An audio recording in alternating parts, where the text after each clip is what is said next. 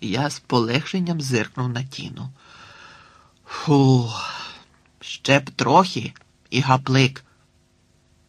А чому ти сказала, що це твоя ідея? Вона легенько знизила плечима. Скільки в тебе друзів? запитала вона. Я трохи розгубився. Друзів? Не знаю. Ніколи не рахував. Мабуть, небагато. Але скільки? наполягала вона. Я замислився. Ну, знаю кількох осіб, почав я і замовк. Не хотів нічого більше говорити. Було якось ніяково. Тіна склала на грудях руки. Я відчував, як вона свердлить мене очима. Я не маю на увазі тих, кого ти знаєш. Це не в рахунок. Скільки в тебе друзів? Хлопців чи дівчат? запитав я, уникаючи відповіді. Немає значення. Усіх, безтурботно відповіла Тіна. Моє обличчя палало. Воно було, мабуть, червоне, як буряк. Одна, зізнався я. Це я? поцікавилася Тіна. Звичайно, буркнув я. Вона з-під лоба зиркнула на мене. Тоді все гаразд, спокійно мовила вона. Але що гаразд? Що вона мала на увазі? Так чи інакше, але батьки ніколи занадто не сердяться на чужих дітей, буденно сказала вона. Я це давно помітила. Твоя мама галасувала б цілу вічність, якби вважала це твоєю ідеєю. А варто було мені сказати, що це я придумала, як вона заспокоїлася і пішла. Я сидів, як причмелений. Ну чому це я ніколи не помічав таких речей? Ну, мабуть, тому що Тіна дівчина. Дівчата таке помічають. Ну, принаймні, я так гадаю, і мені не спадає на думку жодне інше пояснення. Але попереду мене ще чекало найбільше в житті приголомшення, якого я не зазнавав ні досі, ні будь-коли пізніше. Варто, мабуть, вивести собаку на двір, нагадала мені Тіна. Вона так досі й не гуляла. Я пішов по смик. Ходімо, стрілко, пора гулі-гулі. Стрілка зірвалася на лапи, підбігла до мене і сіла на підлогу, чекаючи, щоб я причепив смика до нашийника.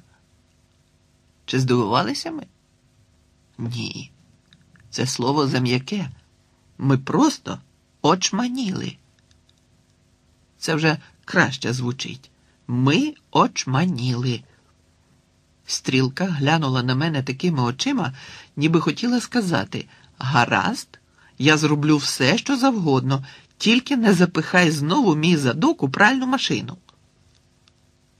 Ущипни мене, бо це, це, напевне, сон, пробурмотіла Тіна. Відведи ну її на поле і перевір, чи вона й далі слухатиме тебе. Дорогою до самого поля стрілка була страшенно чемна і тихенько дріботіла поряд зі мною. Коли ми туди прийшли, я зняв з неї ремінець. Вона миттєво помчала геть.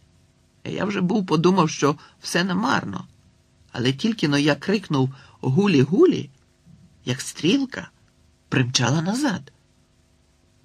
Тіна реготала, як навіжена. Ти це сказав, коли поставив її на тренувальний апарат гулі-гулі. І чомусь це її примушує тепер вертатися до тебе. Класно, треве, стрілка приборкана. Минуло кілька секунд, поки я все належним чином переварив. Тіна мала рацію. Стрілка була приборкана. Це означало,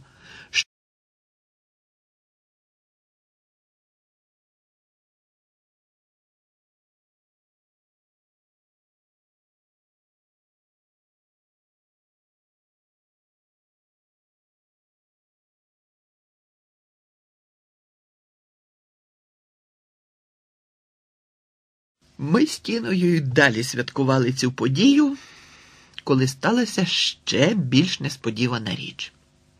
Стрілка гасала довкола дерев, як завжди, вдаючи з себе нормальну термоядерну ракету. Аж тут ми почули налякані крики, і на стежині раптом з'явився Чарлі Смах. Він був не сам. З ним вибігла Шерон Бленкінсоп. І вони трималися за ручки. Вона нажахано дивилася на нас. Хотів би я, щоб ви побачили мордяку Чарлі. Він був розлючений, переляканий. Йому було соромно. Він волів би померти, і все це водночас. Він поспіхом відпустив руку Шерон, але було вже надто пізно. Ми все побачили. Привіт, Чарлі, солодким голосочком вимовила Тіна. Знайшов собі подружку? Нічого подібного. Він став червоний, як рак. Чарлі, штовхнуло його в плече Шерон. Ти ж сам сказав. Ми з Тіною мусили кусати губи, щоб не вмерти з реготу. Чарлі загрозливо примружив оченята. Якщо ви пискнете комусь хоч слово, я вас угроблю, почав залякувати він. Це все твоя дурна собака. Тато каже, що її треба порішити, вона нікому не підкоряється. Саме цієї миті повз них майнула стрілка. Гулі-гулі. крикнув я, і вона примчала назад, різко загальмувала чотирма лапами і слухняно сіла біля мене. Жодних проблем, сказав я. Я її приборкав. Чарлі зблід. Не може бути, прохрипів він. Ще як може, утрутилася Тіна. Ми виграли парі, Чарлі. А це означає, що ти програв. А це означає, що ти мусиш скупатися в старому бляшаному кориті. Але ні, Чарлі в жодному випадку з цим би не погодився. Він випростався на весь зріст, адже він знав, що ми не зможемо примусити його залізти в ту гедоту. Невже? вишкірився він. І хто ж мене примусить? Такі шмакодявки, як ви? Мабуть, ви жартуєте? Чарлі, звичайно, мав рацію. Ми аж ніяк не могли примусити його залізти в корито. Хіба що він сам би цього забажав. Але ж він туди не полізе за жодні гроші. Ми заклалися, нагадала Тіна, і ти з цим погодився. Та ну тебе. Тіна склала на грудях усіяні веснянками руки і зітхнула. Ну, тоді боюся, що у нас немає вибору. Тоді ми просто розкажемо всім твоїм дружкам, що бачили, як ти в гаю тримався за ручки з Шерон Бленкінсоп. Чарлі. пискнула Шерон, нажахано затуляючи долонями рота. Ви цього не зробите, бризнув слиною Чарлі.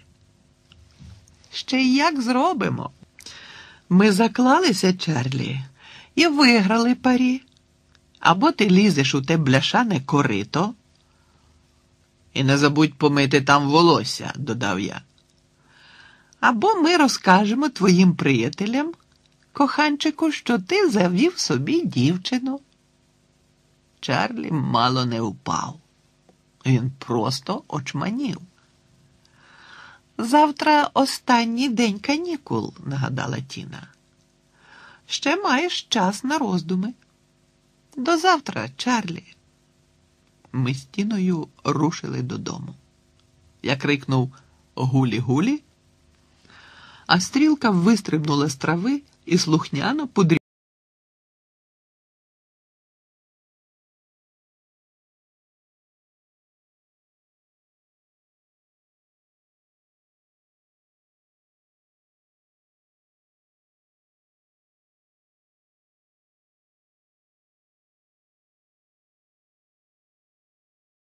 Вони, звичайно, були страшенно здивовані. І що ж тут незрозумілого? Це дійсно була дивовижа. Мама вручила мені 30 фунтів і сказала, що я їх чесно заробив. Я нагадав їй, що заборгував гроші за собачі галети, колготи і телефонний рахунок. Вона сказала мені забути про це. Собака стала чемною, а це дорожче за будь-які гроші.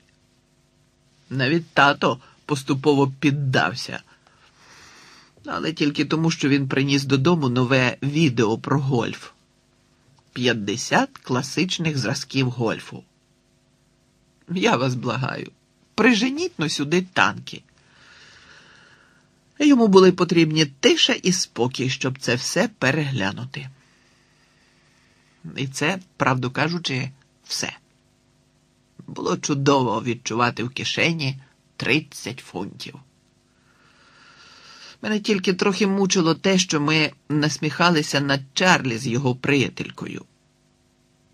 Ну, зрештою, сказав я тіні, нам ніколи не подобалося, коли над нами насміхалися з цього приводу. З нами зовсім інша справа, пояснила Тіна.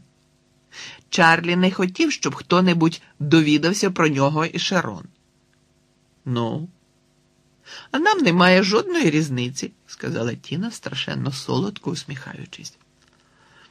Мені подобається бути твоєю приятелькою, і я не дбаю, скільки людей про це знатиме. Я був приголомшений. Цього, мабуть, треба було очікувати. Я подумав: ні, ні, прошу тільки не це, не тепер, коли я стільки всього пережив. Тіна почала якось дивно тулитися до мене. Мабуть, це вперше я тікав чи не швидше за стрілку.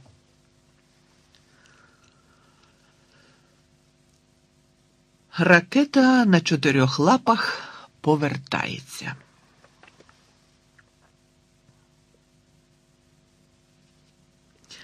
Присвячено насамперед Марії й Анні, котрі, як і багато хто інших, хотіли б знати, чи потрапив таки Чарлі смах до корита, і чи вдалося тіні причарувати Тревора.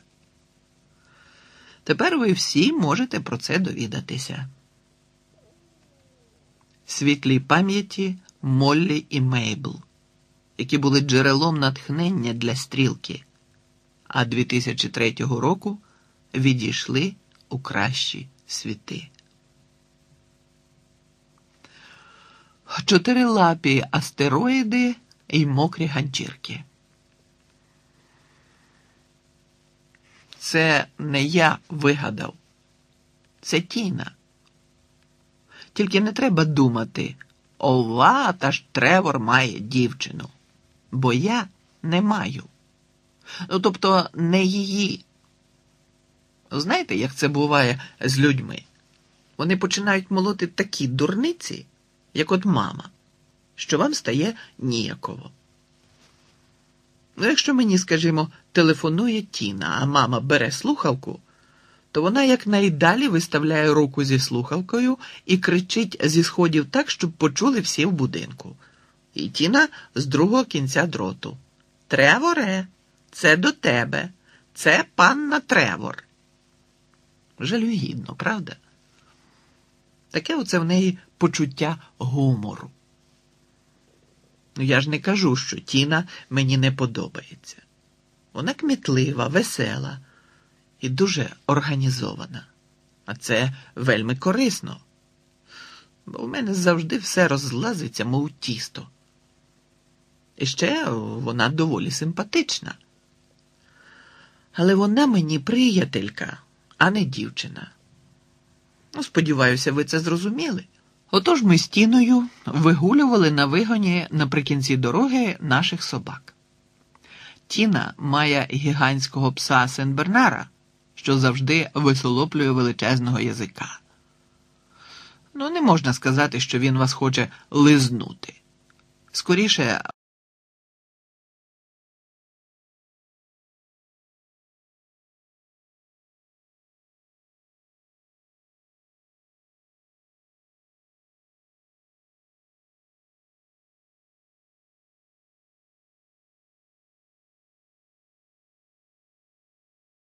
Тіна лишень усміхнулася.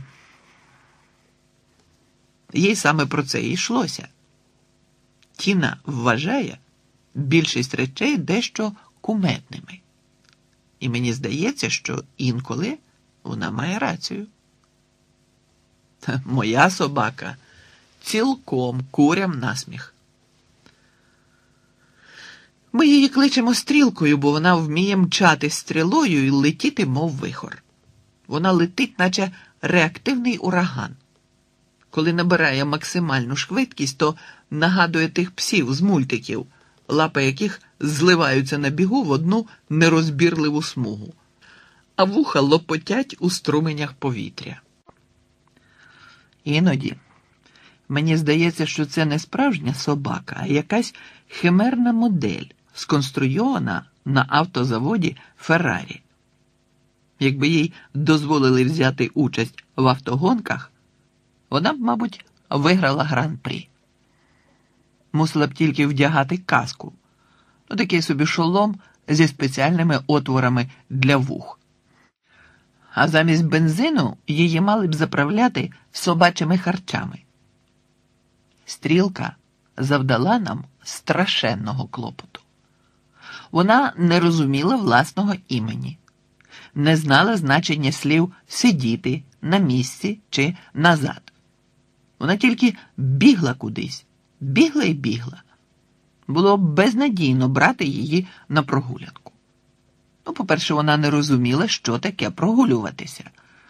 Вона могла бігти, мчати, летіти на повній швидкості вперед, летіти назад, летіти вбік, скажено стрибати скажено кидатися і взагалі поводити себе вкрай оскаженіло. Але прогулюватися та ні. Варто було зняти з неї ремінець, і вона вже не поверталася назад годинами. Ми всі від неї божеволіли, вся наша родина. А тоді Тіна вирішила, що нам треба її належно видресирувати. Ну, це сталося через те ідіотське парі, яке ми уклали з місцевим орангутангом Чарлі Смагом. Але про це пізніше. До чого ми лише не вдавалися, і різні харчі, і хабарі, але нічого не виходило. Аж ось я подумав, що краще, мабуть, тренувати стрілку вдома, а не на дворі, де її легко загубити ми скористалися маминим тренажером велосипедом і збудували собачий тренувальний апарат. Ну, частково це спрацювало, а частково ні. Тобто ми збудували апарат, привели його в дію. Я схопив стрілку, крикнув гулі-гулі і кинув її на рухому доріжку. На жаль, доріжка так швидко рухалася, що віджбурнула стрілку, наче катапультою назад через усю кімнату до кухні, де її задок застряг у пральній машині. І ми мусили задля її порятунку викликати пожежників. Дивовижно, але після цього жахливого випадку варто було мені лише сказати гулі-гулі, як стрілка миттєво підбігала до мене і про всяк випадок рішуче сідала обабіч. Ану ж бо я знову вирішу запхати її задок у пральну машину. Ну, мабуть, їй не подобалися швидкісне прання і сушка. Отож я тепер маю єдину в світі собаку, що підбігає і сідає біля мене після слів гулі-гулі.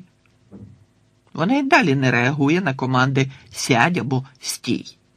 Але тепер, принаймні, вже не завдає нам страшенного клопоту, а тільки прикрощів. Отож ми стіною вигулювали собак на вигоні. Падав дощ, тому було мокро і брудно. Пес мишка, як завжди, слухняно і чемно трюхикав побіч тіни, а стрілка, як завжди, гасала в траві чотирилапим астероїдом і трощила все і всіх, хто траплявся їй на шляху. Нерідко тут на полі бувають інші.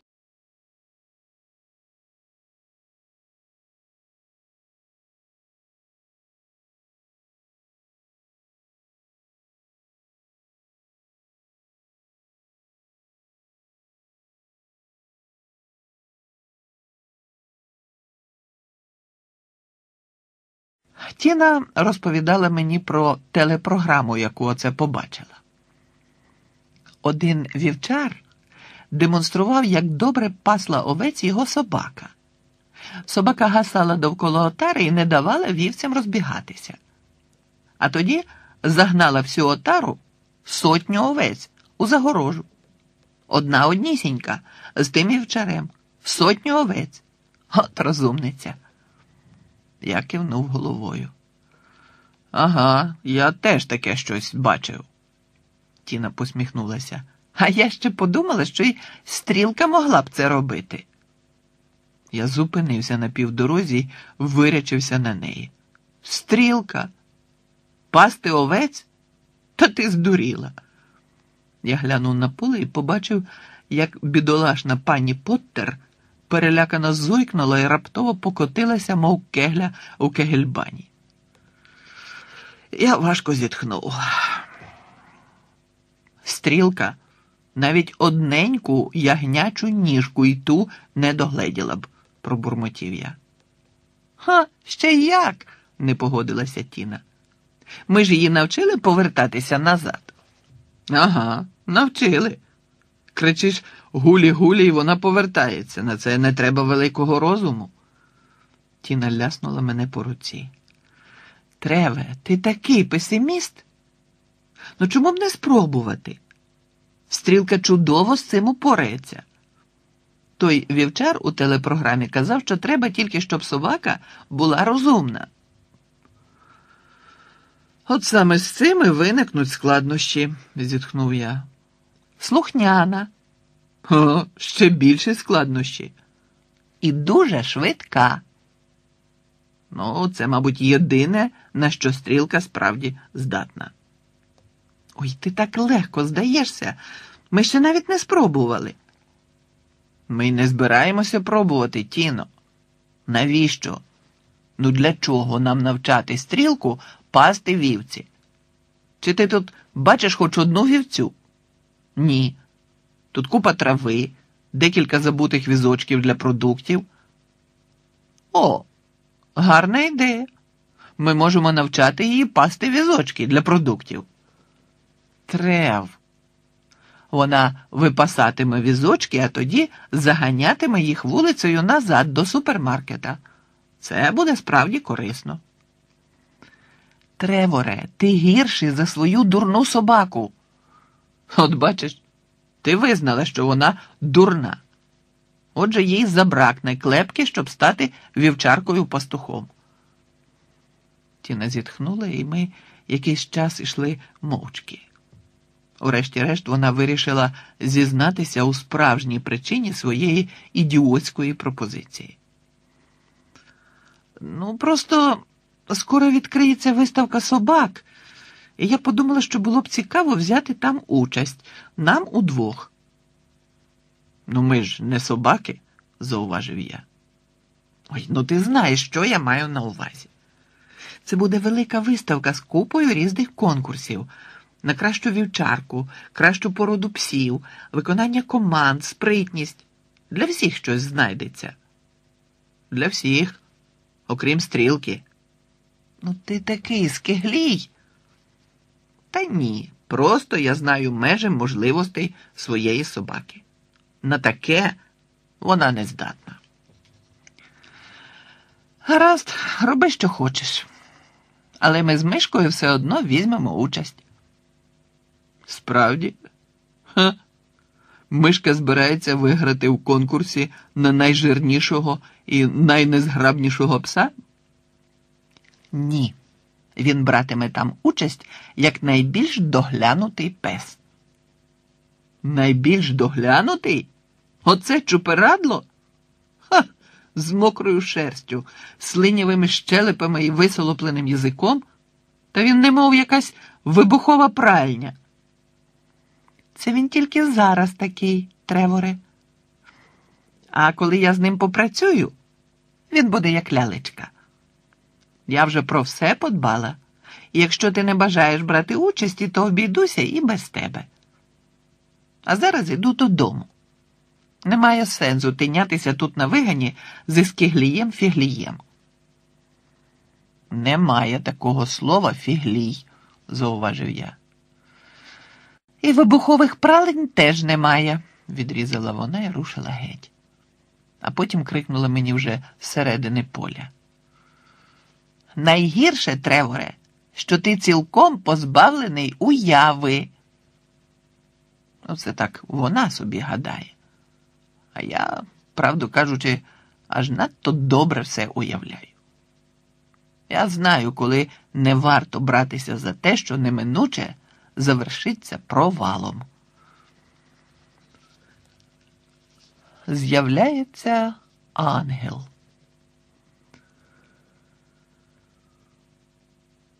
Я й далі безцільно блукав виганом, а стрілка й далі бавилася в кеглі з людьми, що вигулювали псів. Замрячив дощик, але я нічого не помічав, дивлячись собі під ноги і уявляючи, як стрілка випасає візочки для продуктів, у яких сидять вівці. Ей, дивись, куди йдеш. Я глянув і бум! Прямо перед очима видіння, наче ангел, дівчина такої краси, що я не міг відвести очей. Ти ледь не наштовхнувся на мене, сказала вона. Я заціпеніло стояв, дивлячись на неї. Алло, вдома хтось є? Мало з ніг мене не збив. Вибач. Ти був ніби на іншій планеті. Вона посміхнулася і засяяло сонечко. Ну, тобто, не справжнє сонечко, бо і далі мрячило. Просто таким був вираз її обличчя. Що за дивовижна істота, думав я, і звідки вона з'явилася? Вона тримала на повідку собаку для аварійних випробувань. Знаєте, про що йдеться?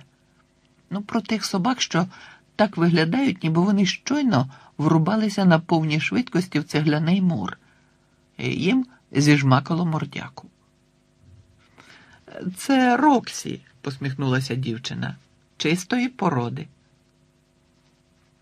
Раніше я тут тебе не бачив, пробелькотів я. Удалині я помітив стрілку, що зі свистом летіла на нас, наче стрибаюча бомба. Я тут раніше не бувала, пояснила дівчина. Тільки недавно сюди переїхала. То про що ти так думав? Я думаю, що тобі краще забратися, сказав я, дивлячись на стрілку. Дівчина здивовано на мене зиркнула. Але ж я щойно переїхала. Минулого місяця ми тільки вселилися в нову хату. Ні, я маю на увазі цієї миті, тобто краще забратися геть. Стрілка підлітала дедалі ближче і ближче. Один стрибок, другий, третій. Ти такий дивакуватий, засміялася дівчина. Що ти. Ай-яй-яй! Стрілка, мов ядро з гармати, влучила їй прямісінько в спину.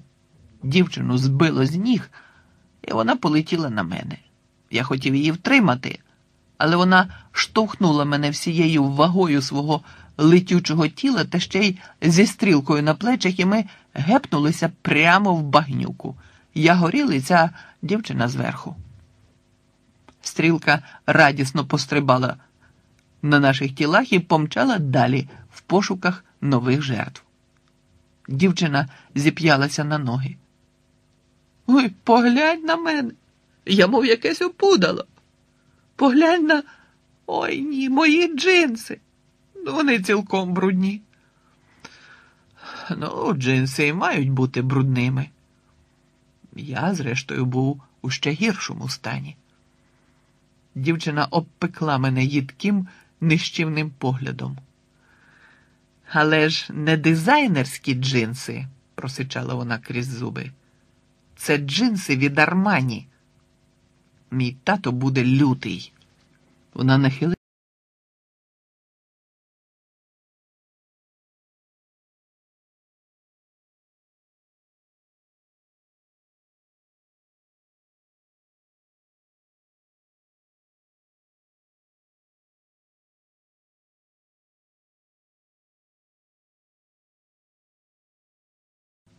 Я думаю, тобі варто, почав я, але зупинився на півслові. Що? не зрозуміла вона. Вибач, промимрив я.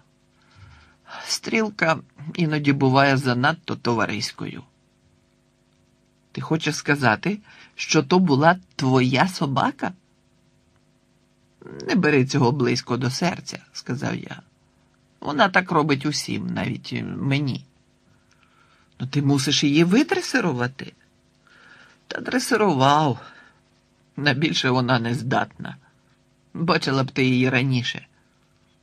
Ну, я ж казав тобі забратися. Ой, не треба. Ти просто шукаєш виправдань. А ти мені нагадуєш одну мою вчительку, буркнув я. Справді? То ти поводився не краще за свою собаку? Вона знову оглянула свої джинси. Я зітхнув. Але це ж тільки джинси. А подивися на мої кросівки. Вони такі брудні. Ой, мій тато так розгнівається. Ти що про це почуєш?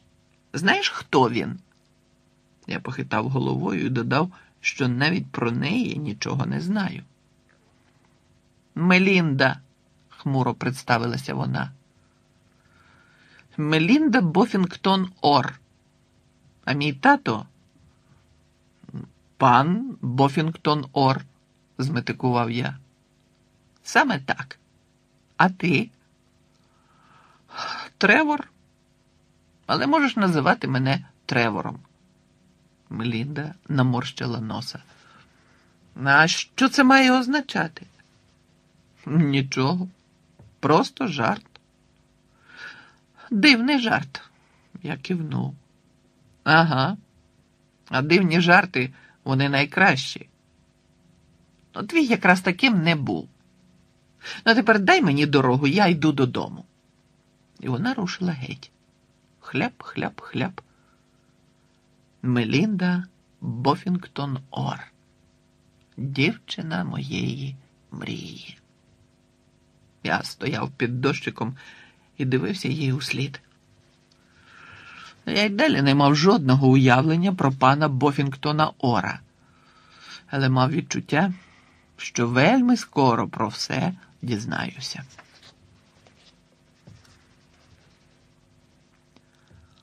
Бофінгтони Ори. Тато стояв у коридорі біля сходів, зазирав у дзеркало і поправляв на собі сорочку. Рухайся, Треворе. А чи мушу я вбирати ту краватку? Так, ми йдемо на вечерю до гольф-клубу, а без краваток туди не пускають. Ненавиджу краватки. Вони такі, такі жалюгідні. Я завжди почуваю себе ідіотом, коли їх натягаю. Я і так більшість часу почуваю себе ідіотом. Але тепер я ще й ідіот у краватці. Бре. І гольф я ненавиджу, і гольф-клуб. Тато грає у гольф кожнісінької вільної миті. Він ним зачарований. А я не збагну чому. Майте малесенького м'ячика і довжелезного патика. Лупайте по тому м'ячику, щоб він відлетів якнайдалі. Тоді йдете за ним, а коли знаходите, що може зайняти чимало часу, залежно від того, де він приземлився, лупите по ньому знову. Тоді йдете за ним, а коли знаходите, лупите знову. Тоді йдете за ним, а коли знаходите, і так далі, і так далі. В ряди годи м'ячик потрапляє в лунку. Ви тоді радієте. А після того, як зраділи, що робите далі? Лупите знову по м'ячику, а тоді йдете за ним. А ще тато захоплюється стрільбою по тарілках. Це коли ви маєте рушницю. Ви кричите Давай, і в повітря злітає спеціальний диск це тарілка, а ви його збиваєте пострілом. Я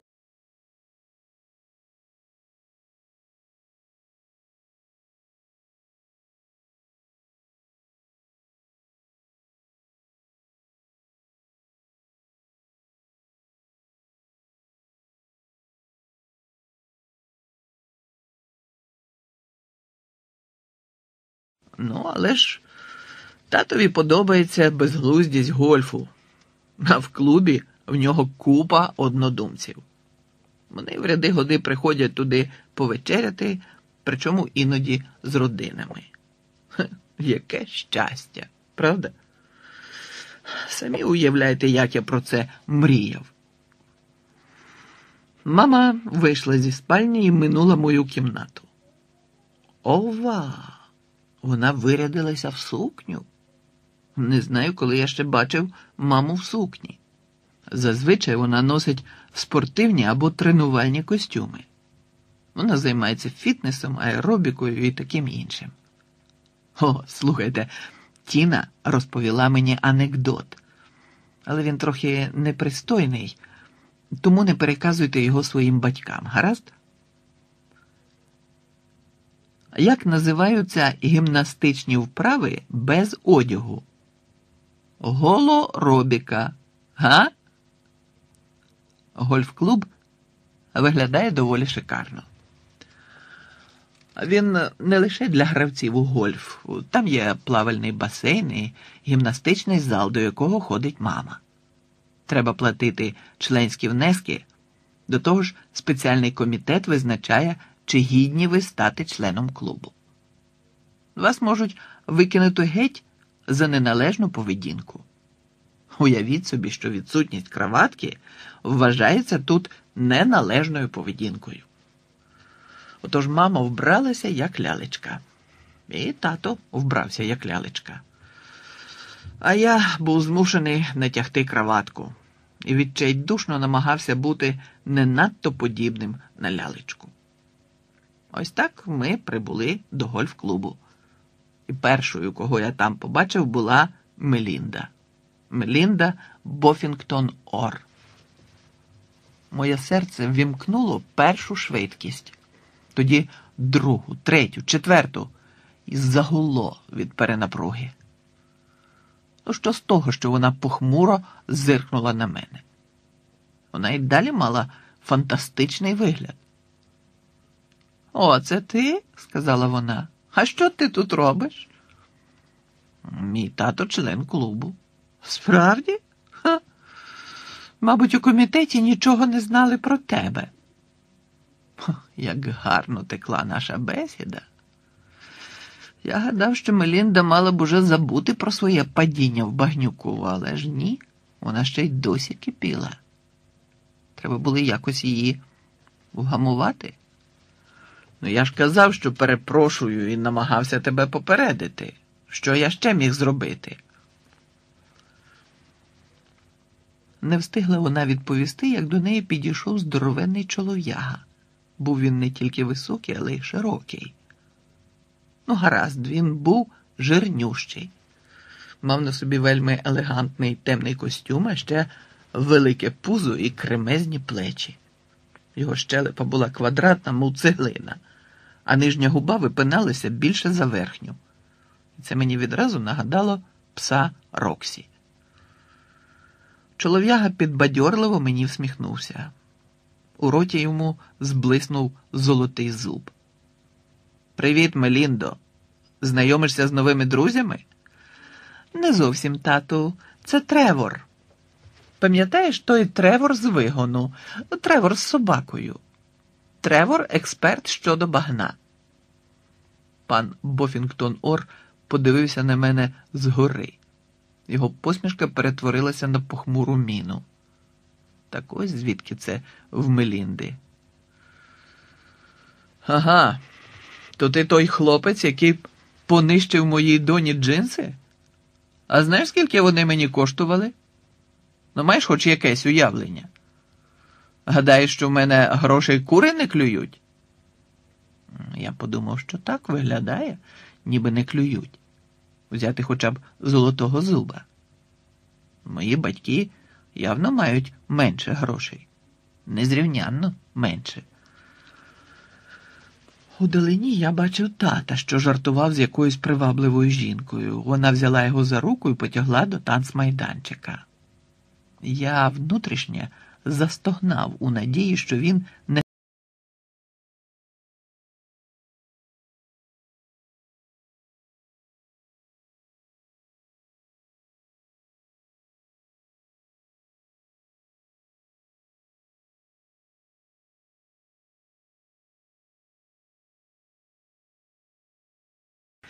Твоя собака здатна тільки на шкоду, вів далі пан Б.О.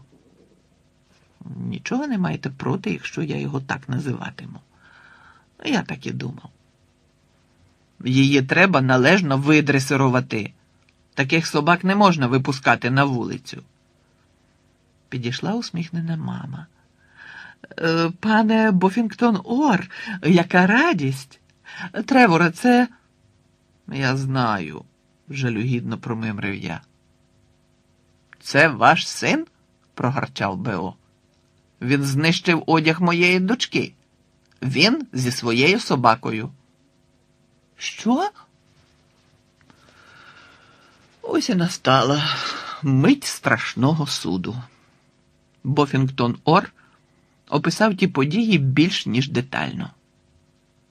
Я так кажу, бо самого Б.О. там не було, і зараз він усе значно перебільшував. Мелінда в ряди годи додавала в'їдливі коментарі, щоб остаточно мене доконати.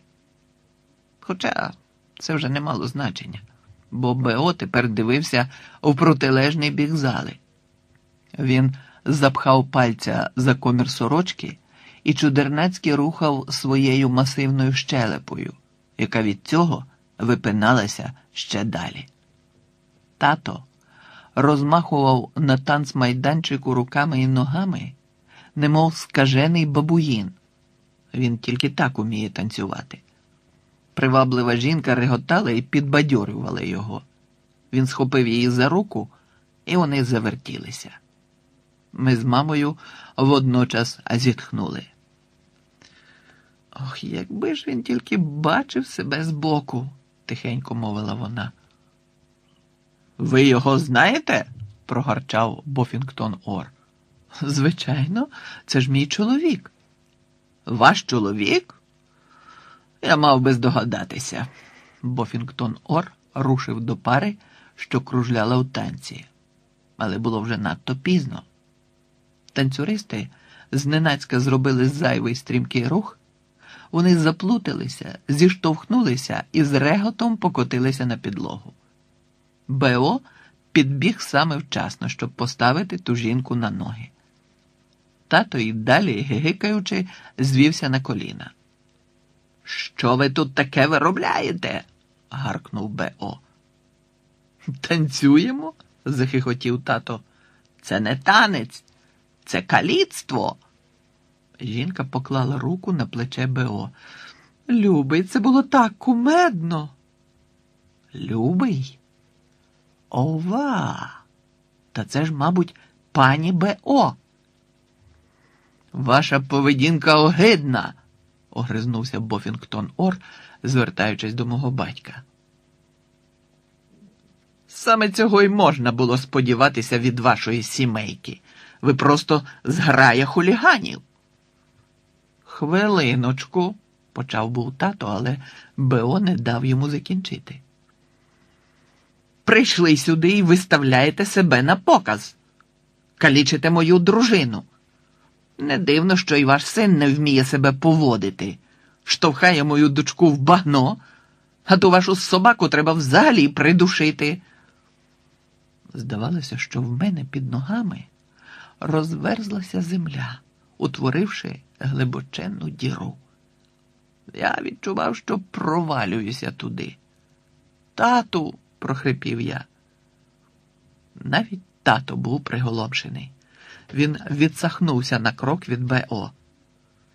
Чекайте но, мені здається, вам не варто казати таке про нашу собаку. Ну, часами стрілка, може, й буває дещо навіженою, але дещо навіженою? Та вона знищила Мелінді одяг, могла її покусати. Стрілка ще нікого не кусала, обурився я. Спокійно, Треворе, зупинив мене тато. Він обернувся до тата Мелінди. Мені жаль, що було пошкоджено гардероб вашої дочки. Можете надіслати його нам додому, і ми спробуємо його відчистити. А щодо стрілки, то я вважаю, що вам не варто лізти сюди зі своїми коментарями. Пан Бофінгтон.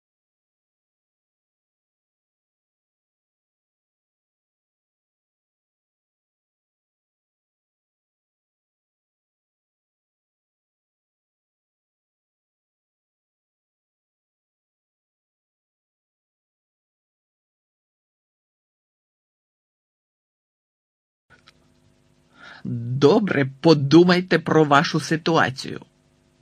Мабуть, ви не знаєте, хто я такий. Я новий голова комітету гольф-клубу. А ще, між іншим, я новий поліцейський інспектор нашого міста. Займіться цією собакою, бо інакше матимете справу зі мною. А я обіцяю, що вам це не сподобається. Ви що, погрожуєте? Так само холодно озвався тато. Так. І навіть скажу вам, що станеться. Невдовзі буде виставка собак, яку спонсорує поліцейська асоціація. Ваша собака зможе взяти там участь. Та що за дурниці? зареготав тато. Це ж не серйозно. Ще як серйозно, вишкірився інспектор. Вважайте це суспільним зобов'язанням для вашого цуцика. Сподіваюся його там побачити. У програмі братимуть участь три ельзаські вівчарки мого сержанта з дільниці. Маю надію, що ваша собака переможе принаймні одну з тих вівчарок. Якщо ж ні, можете розпрощатися з вашим членством у гольф-клубі. Та й для вашої собаки це буде дуже погана звістка. Я не потерплю в місті небезпечних псів. Небезпечних? вибухнув тато. Небезпечних, повторив Б.О. загрозливо низьким голосом. Запала мертва тиша. Ой, не варто заїдатися з поліцейським інспектором, який до того ж виявився головою гольф-клубу. Ось про що подумав тато. Я це відразу зауважив. Бео зловісно усміхнувся, поклав одну руку на Мелінду, другою вхопився за дружину, відвернувся і рушив геть. Було майже чутно, як вони хихотять поміж собою. Найбільш доглянутий пес. Тато тинявся скрізь з таким виглядом, ніби була проголошена війна, і він щойно виявив у ванні ворожі підводні човни.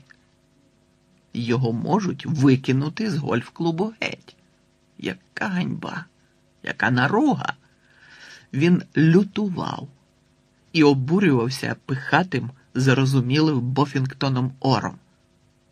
А завдяки стрілці, звісно, перепадала на горіхи й мені. Її треба належно витресирувати, гаркав тато, бо інакше мусимо знайти для неї нове житло. Віддамо її до собачого притулку. А для мене це не новина. Щоразу, коли стрілка робила якусь жахливу шкоду, тато погрожував віддати її до притулку. Але цього разу була біда, справжнє лихо, з великими літерами, знаками оклику і похмурими поглядами. Тато відчував, що над ним особисто нависла загроза і серйозно розмірковував про зміну житла для стрілки. Я не знав, що робити. Була тільки одна особа, з якою можна було порадитися Тіна. Я повів стрілку на вигін, сів там на колоду і почав чекати. Рано чи пізно мала б з'явитися Тіна разом із мишкою. І так воно і сталося. Тіна присіла біля мене, а мишка біля неї. Було б гарно, якби і стрілка присіла біля мене для повної гармонії, але їй закортіло стати білкою. Вона стрибала на стовбур дерева, намагаючись на нього видряпатися, а тоді ще й дивувалася, чого це вона постійно падає в кущі прямісінько на свій задок. Я по-справжньому зрадів, побачивши тіну, але вона зустріла мене з прохолодою. Що ти тут робиш? запитала вона. Вигулюю собаку.